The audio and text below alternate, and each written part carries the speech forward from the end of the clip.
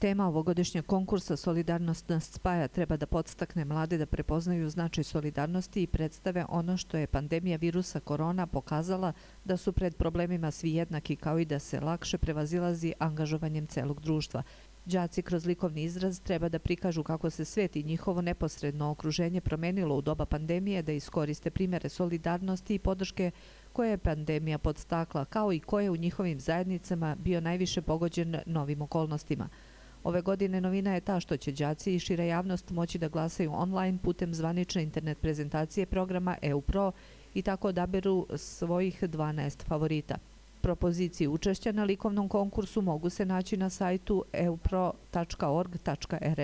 EUPRO poziva škole da organizuju interna školska takmičenja na kojima će izabrati radove za učešće na konkursu, a škola koja se pokaže kao najbolja u angažovanju i organizaciji dobit će kao nagradu laptop i projektor. Konkurs je otvoren do 15. novembra, a proglašenje pobednika, dodela nagrada i promocija kalendara biće organizovani u decembru u skladu sa epidemiološkom situacijom.